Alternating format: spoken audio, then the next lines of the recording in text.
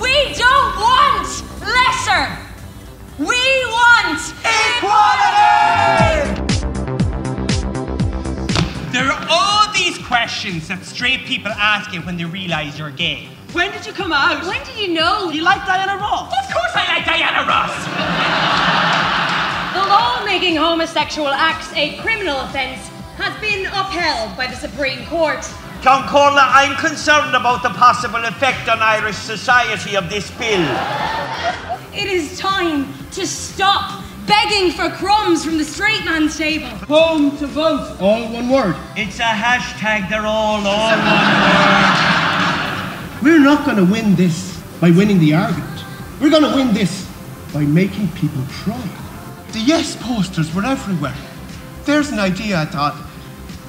Am I to come out now? You're my daughter. I will always love you.